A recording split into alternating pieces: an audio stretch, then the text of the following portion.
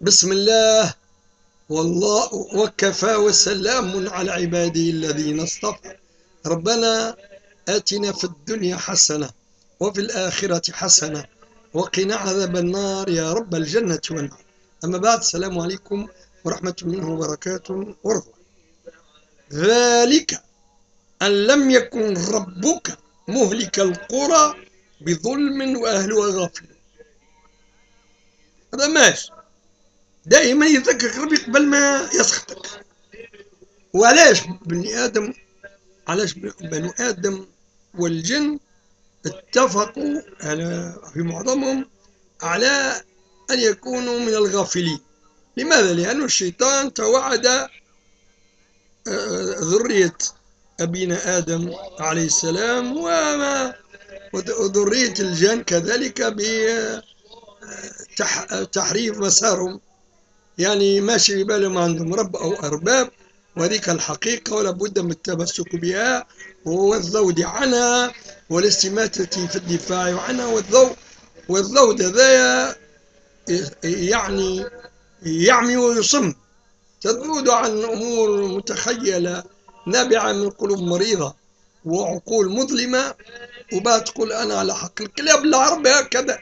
كرب. الحقيقة.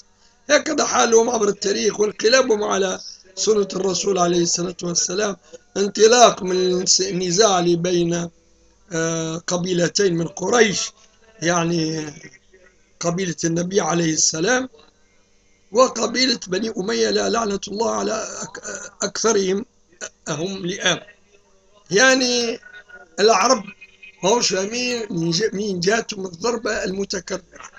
لماذا الخزي؟ ورا خزي وغفلة ورا غفلة ومذلة ورا مذلة ونفقة غير معقولة بمال غير حلال ولا مجرد هذا كل من الإسلام. وإذا كان أنتم مسلمين يا أخويا أعطيونا علاش مسلمين؟ كيفاش؟ آه، تحققتوا اللي أنتم مسلمين.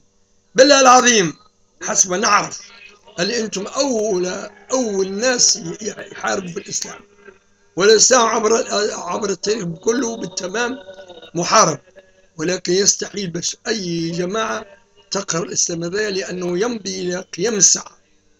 وتشوفوا أنتم من الدولة الإسلامية الفتية لتا إسلاميك. حاربوا شرقوا وغربوا في في مقدمتهم الكرب واللي قتلوا الكل بنو صهيون.